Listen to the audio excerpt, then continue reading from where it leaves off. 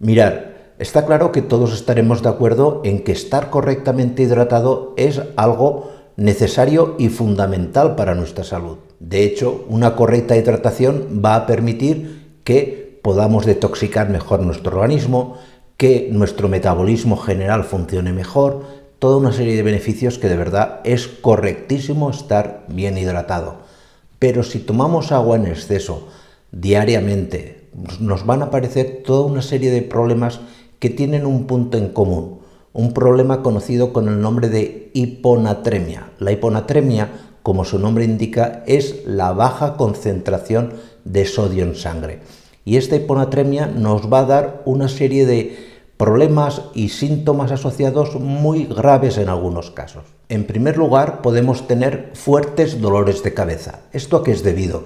Pues es debido a que, como os digo, cuando bebemos mucha agua, parte de esta agua en grandes cantidades pasa del intestino al interior de nuestros vasos sanguíneos. Y en los vasos sanguíneos eh, el organismo no quiere que haya un exceso de agua, con lo cual se produce una extravasación.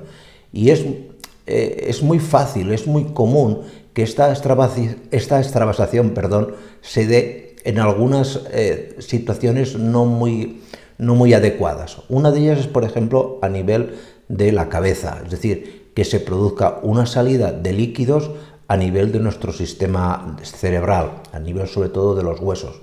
Esto provoca un incremento de presión y un dolor de cabeza que por lo general no va a responder a los tratamientos antiinflamatorios cotidianos, ibuprofenos y demás, y que por lo tanto solamente va a remitir ese dolor de cabeza cuando tu organismo paulatinamente vaya eliminando el exceso de líquido o se te dé algún tipo de tratamiento diurético, básicamente con furosamida, que es el diurético que más comúnmente recetará cualquier médico. Otro problema muy común y muy frecuente van a ser los continuos calambres musculares. ¿Esto a qué se debe? Pues se debe principalmente a que cuando estás bebiendo mucha agua se diluye y mucho la concentración de sodio en sangre, lo que os comentaba de la hiponatremia, facilitando que se elimine en exceso también sodio en la orina. ¿Y qué ocurre cuando en nuestra sangre hay poca cantidad de sodio?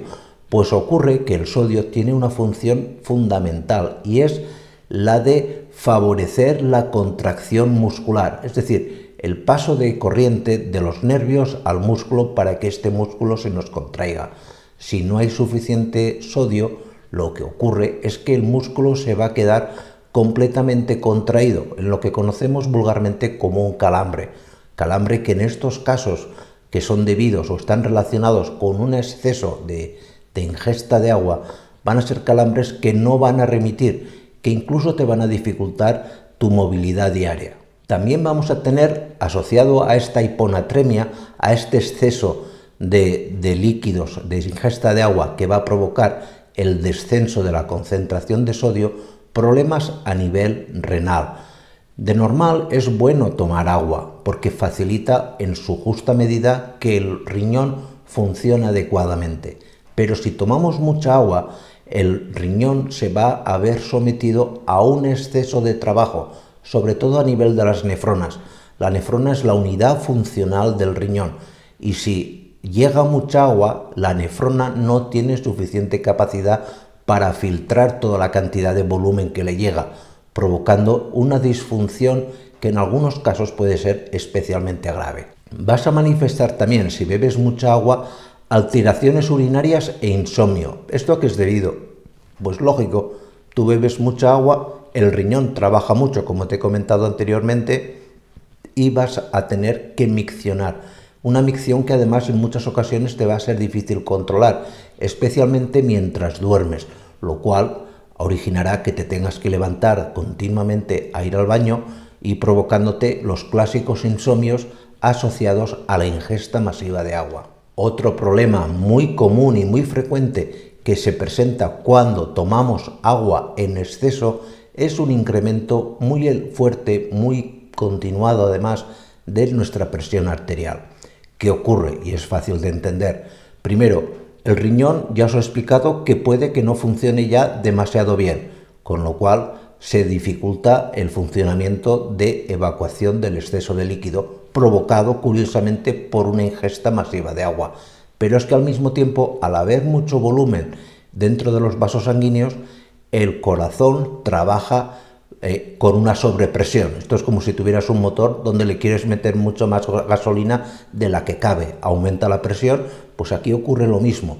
Y tener una presión arterial sobre elevada es un grave riesgo para nuestra salud, porque pequeños capilares se pueden romper y en esta rotura pues aparecerán problemas gravísimos, desde simplemente coágulos o, por ejemplo, los famosos ictus, si el derrame se da en pequeños capilares a nivel del cerebro. Y por último, es también muy común y muy frecuente que si te tomas mucha cantidad de agua diaria, esto es algo que, como os digo, se da sobre todo en estas famosas dietas de la famosa dieta del agua que promueven el consumo único y exclusivo de agua y que eh, están muy de moda. Veréis muchas personas que van siempre con la botella de agua todo el día bebiendo para mitigar el apetito que se tiene, el apetito en exceso eh, de forma natural en cualquier eh, dieta de adelgazamiento.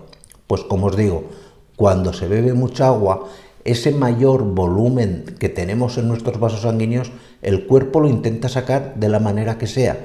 Y una de las maneras más comunes es sacarlo allá donde pueda.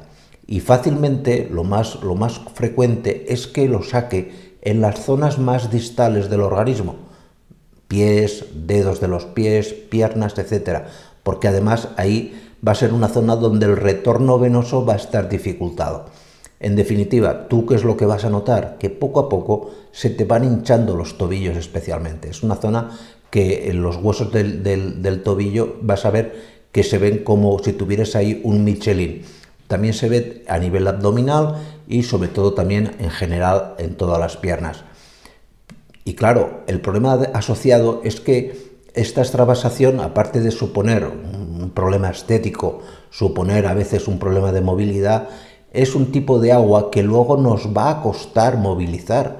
Es decir, ha salido de ahí, pero no se va a retirar de forma tan rápida como, como ha salido. Vas a necesitar en muchos casos el que tu médico te recete algún tipo de diurético y, claro, pues comprenderemos que esto no es una situación agradable para nadie, ¿de acuerdo? Y dicho esto, y por favor, nunca, nunca caigas en estas famosas dietas que te pondremos aquí, como la dieta del agua, que promueven que no comas nada durante el día y solamente te alimentes de agua. Digo lo de alimentar un poco de broma, porque como comprenderéis, no te vas a nutrir jamás de agua. ¿De acuerdo? Pues nada más, muchísimas gracias y nos vemos en los siguientes vídeos. Cuidaros mucho. Chao.